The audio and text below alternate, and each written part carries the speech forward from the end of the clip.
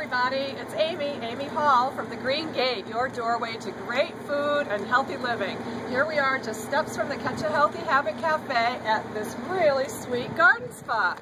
So here we are, one sweet spot, two happy health coaches, four 4x4 square foot gardening raised bed boxes, 16 pieces of lumber, and 64 square feet of garden space.